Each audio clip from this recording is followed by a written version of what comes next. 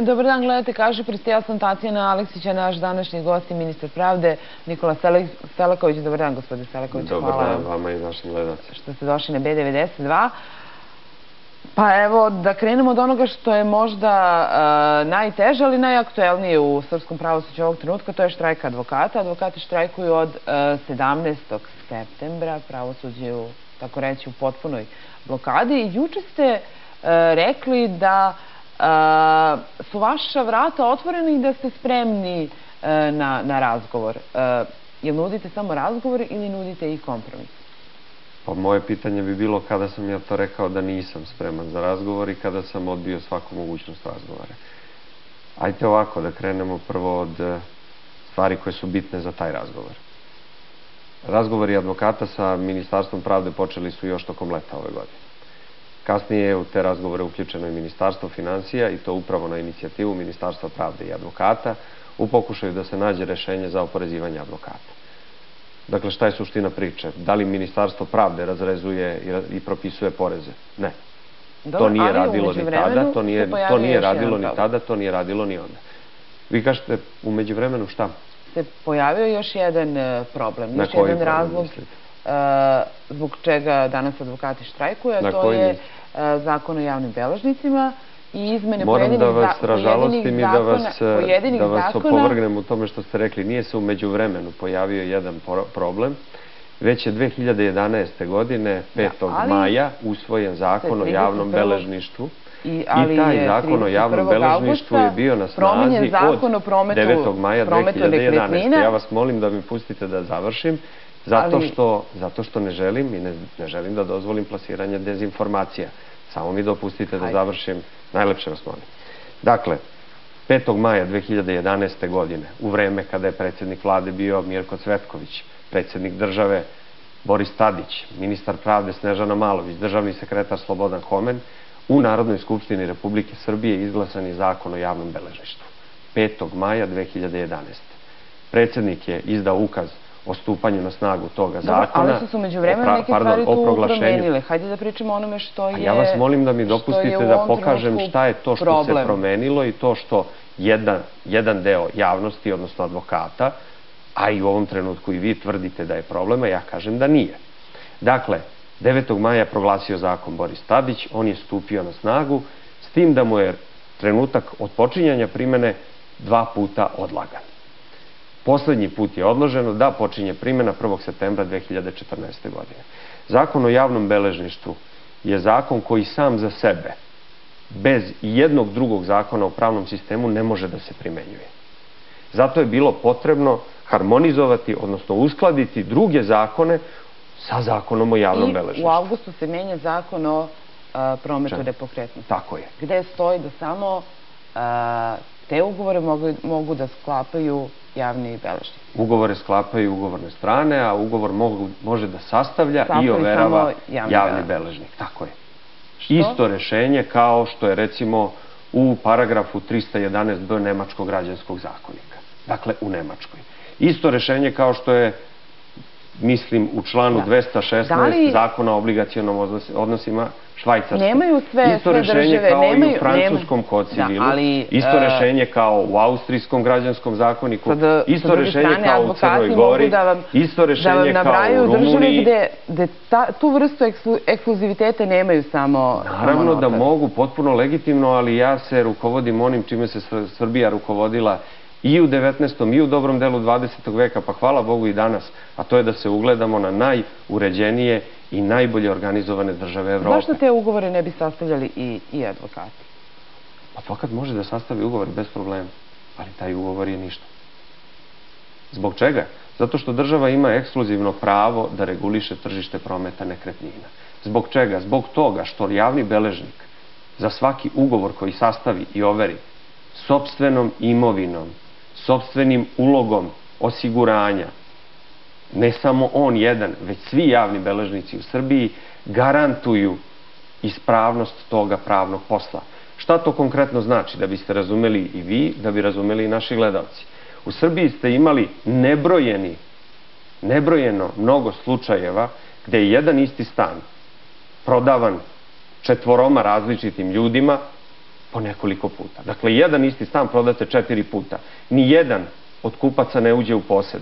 Desi se da taj investitor ili taj vlasnik završi u zatvoru, da ne možete da namirite ni jednog od četiri kupca, a svi su platili po recimo 100.000 evra.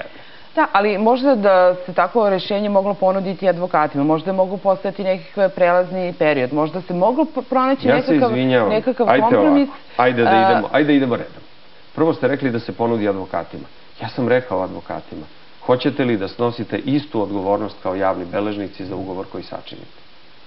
To je recimo jedno od pitanja koje je bilo prisutno na mom razgovoru sa advokatima povodom štrajka. Znate šta su rekli? Kategorički ne. Dakle, hoću da sastavim ugovor, a da za njega ne snosim nikakvu odgovornost. E pa oprostite, molim vas, ovo je država koja brine o pravnoj sigurnosti svojih građana. A ta pravna sigurnost znači da ne možete jedan stan, jedan isti stan, u razmaku od 5, 6 ili 10 dana, ili u godinu dana, ako je stan u izgradnji, da prodate četiri puta da uzmete da, ali četvorostruku u cenu. u sudu može da se proveri ovaj, da li je neka nekretnina e, pa moram da vam kažem da ni taj način e, provere prometa nepokretnosti u sudu nije apsolutno siguran. I imali smo nekih slučajeva gde je uneto, da ću vam konkretan primer, imali smo slučaj zgrade u Novom Sadu, gde je sud overio ugovor da se prodaje stan, ne znam, ulici Jovana Cvića 22. Investitor je podigao zgradu koju je proglasio da ima dve lamele i onda je rekao stan ulici Jovana Cvića, broj 1, kroz A, lamela A.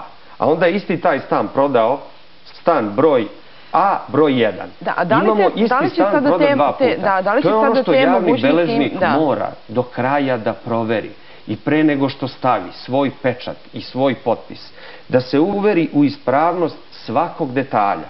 Bio sam pre neki dan kod jednog javnog beležnika koji mi je rekao nećete verovati šta se desilo pre tri dana. Ja pitam šta? Kaže, pojavile su se dve stranke, hoće da svačine ugovor o kupoprodaji stana. Rekao sam im, dođite za dva dana, spremite svu dokumentaciju pre toga, dajte mi na uvid. Čovjek je sve proverio, došle su strane, on je pročitao sva upozorenja o eventualnim pravnim problemima te nekretnine i znate šta je bilo na kraju? Potencijalni kupac je rekao, izvinite, ali ja ovaj stan ne želim da kupim. Da. E, da li ja ste spremni da uopšte da, da, da razgovarate sa, sa advokatima na temu promene e, zakona o, o notarima? Onog istog zakona protiv koga nisu rekli ništa od 2011. kada je donet. Ali im sada smetaju te neke promene o kojima smo malo čas govorili. Oprostite, da, da se ne vraćamo oprostite, na to. ali da li uopšte u tom zakonu to što nekome nešto smeta, a neko je imao tri godine, tri godine, Tanja, ja vas molim da me razumete, tri godine. Pri, kažete prelazni period. Priprema zakona o javnom beležništvu u Srbiji traje od 2004. godine.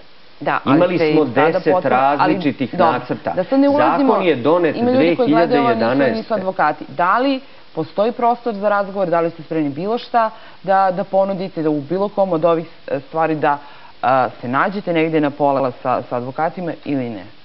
Ja vam opet govorim o čemu pričate. Jel vi mene ne razumete? Ja vas pitam da li postoji prostor za kompromis, za promene Čekajte, zakona o notarima. Da je sada u trenutku donošenja zakona o notarima svakako da bi to bilo normalno i uputno.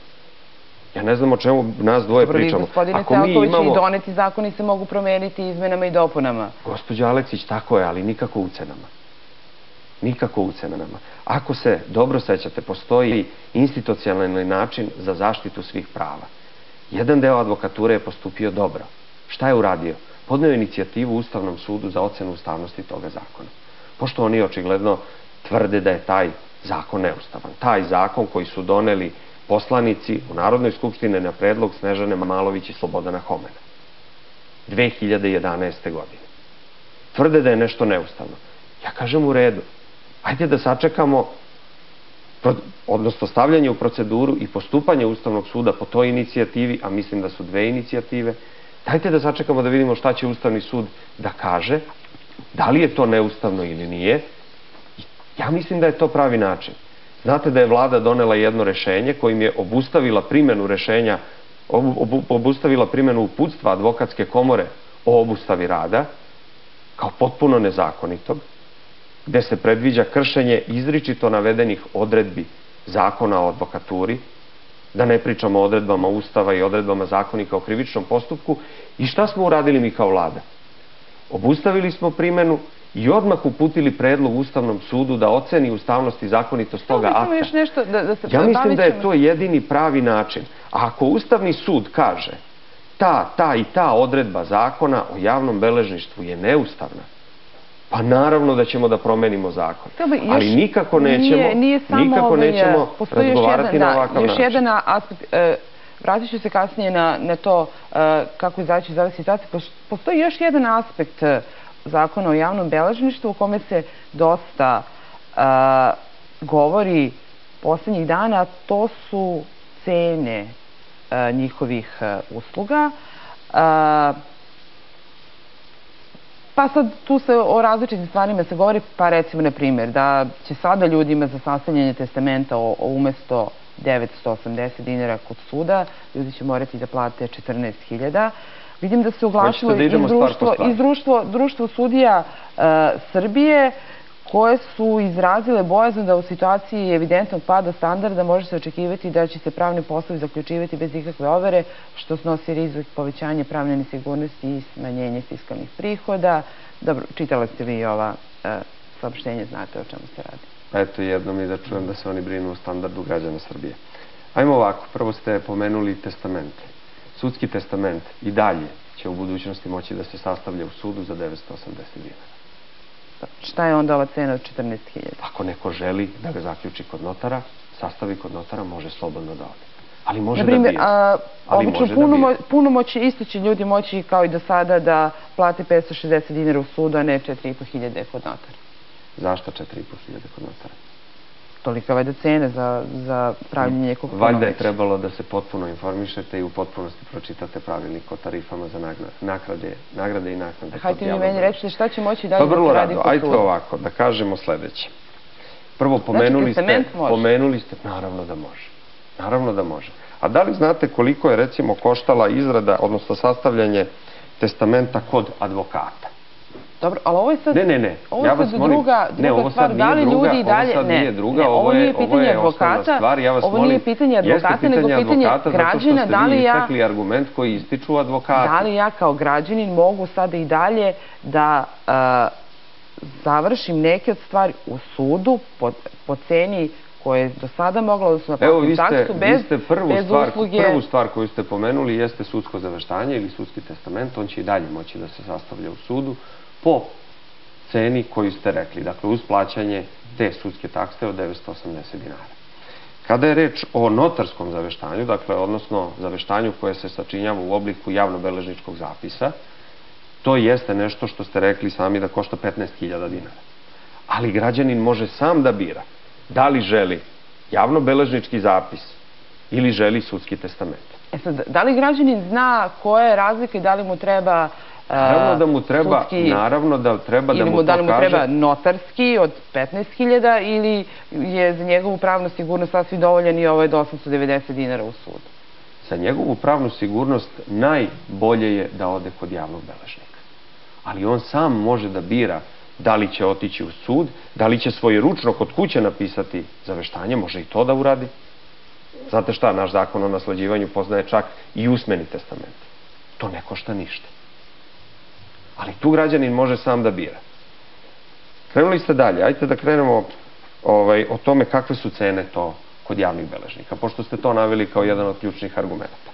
I tu moram da vas razočaram da onaj ko vas je pripremao, što mene zato što ste rekli da je to neuporedivo skuplje, a vidim da iz društva sudija dolazi ta boja za, za standardom građana, pa ne znam kako se to nisu lepo informisali i uputili u cene kod notara. E, a ja ću da vam kažem sledeće. Za sve ugovore, dakle, za sve ugovore o prometu nekretnina, čija je vrednost do 48 do 48 miliona dinara. Dakle, 48 miliona dinara, to otprilike dođe negde, ako se ne varam, oko 400.000 evra. Dakle, za sve nepokretnosti do 400.000 evra vrednosti. Jeftinije je sačiniti javno-beležnički zapis nego po dojučerašnjoj praksi otići kod advokata, da vam advokat uradi, uredi ugovor, sastavi ga, naplati advokatsku tarifu, a onda odete u sud onda odete u sud da ga overite. I evo ja bih ovde da pokažem da to vide i vaši gledaci. Ajde da gledamo recimo vrednost nekretnine koja je 12 miliona dinara. To pričamo o... Pričamo o kupovini stana ili kuće. I o ovoj, toj založnoj e, ne pričamo o založnoj. o kojoj ste ne, smanjili ovaj, e, za 60%. Samo polako, samo polako. Dakle, evo imamo recimo vrednost stana koja je 12 miliona dinara. Za vrednost stana od 12 miliona dinara vi ste morali da platite advokatu za sastavljanje ugovora po tarifi advokatskoj 30.000 dinara i sa plaćanjem sudske takse od 39.000 dinara to je 69.000 dinara. Kod javnog beležnika, ako hoćete da kupite stan koji je vrednosti 12 miliona dinara, vi ćete platiti 42.000 dinara. Dakle, imate 42.000 dinara kod notara, imate 69.000 u sudu i kod beležnika. Da, ali da li ja još tu imaš neki dodatnih Evo, recite mi, šta je jeftinije? Ne, ne, nema dodatnih troškova. Ja vas pitam, šta je ovde jeftinije? Je li jeftinije 42.000 kod javnog beležnika? A što biste građanima ostavili da sami izaberu gde im je jeftinije? Zato što država mora da garantuje pravnu sigurnost građanima za poslove koje preduzimaju. Država do juče to nije garantovala i onda ste imali prodaju jednog istog stana po dva, četiri, osam ili deset puta. Šta dalje? Vraćamo se na početak, da. naravno, zato što je to vrlo bitan argument koji oponenti ovog sistema iznose. Dakle, vama, draga Tanja, vašim gledalcima i građanima, ovaj je sistem, sistem koji uvodi red u Srbiji.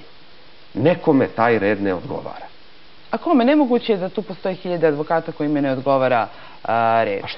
Koje hiljade? Ajde da čujemo. A svi ovi koji štrajkuju. Koliko ima Kakve veze advokat krivičar ima sa javnim beležnicima? Recite mi. Vjerojatno kao i u solidarnosti sa svojim kolegama.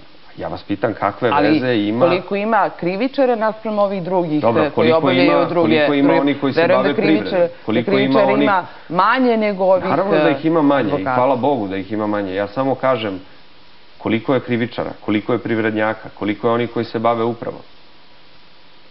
Ali on je očigledno Naravno, nešto možemo nije u redu. Možemo da, možemo da posmatramo stvari iz ovog ugla. Ja sam vrlo radostan i da je posmatram tako. Dobro, hajde više od 80% da li imenovanih javnih Nemamo beležnika, vremena, više, od, više od 80% imenovanih javnih beležnika su advokati bili do pre meseci i po dana.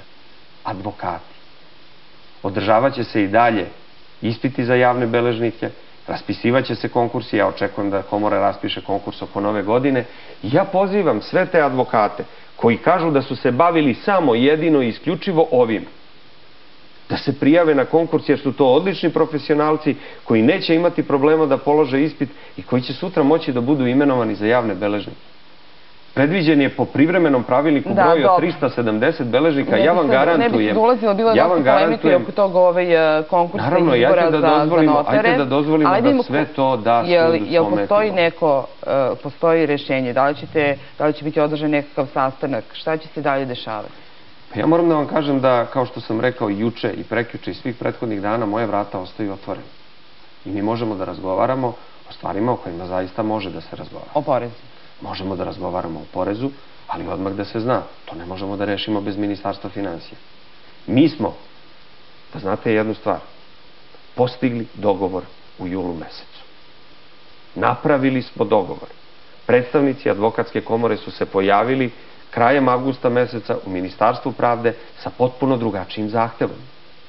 Suprotnom onome dogovoru koji smo postigli. A dogovor je bio sledeći. Ja molim da me advokati koji su učestvovali u ovome, a tu je bilo dosta advokata kada smo napravili taj dogovor, da me demantuju. Dogovor je bio sledeći, da ni jednom advokatu porez za 2014. godinu ne bude veći od rasta, čistog matematičkog rasta poreske osnovice, a to je 41,17%, uz obavezu da radna grupa u kojoj sede tri predstavnika advokature, dva predstavnika financija i jedan predstavnik pravde, definišu određene faktore kojima će taj porez moći dodatno da se niveliše. To je dogovor koji smo postigli. dalje, Moji razgovori sa advokatima su... Radne grupe su se sastajale do skoro. Da li se dalje ne sastaju za, vezano za, za porez? Radne grupe, svakako. svakako da se sastaju. Ta radna grupa je došla u jedan drugi problem. Kada su pogledali da je od 3258 advokata svega 239 se žalilo na poresko rešenje. Dakle, 3200 3000, pardon, 3528 advokata je dobilo poresko rešenje. Od 3528 žalilo se 239. Ali, ja i dalje govorim, moja vrata su, moja vrata su otvorena, mi možemo da sedemo da razgovaramo. Naravno da sam ja nastavio razgovore sa advokatima. Evo, odmah ću vam reći. To što su se rukovodioci komora povukli i otišli, to ne znači da advokati ne dolaze u svoje ministarstvo i ne razgovaraju. Razgovaraju. O porezima se razgovara, o zakonu o javnom beležištu se ne razgovara, čekate da stigne da se ne razgovara, ja sam im rekao vrlo jasno, dajte da sačekamo odluku Ustavnog suda, ali morate početi da radite. Vi kršite zakon o advokaturi.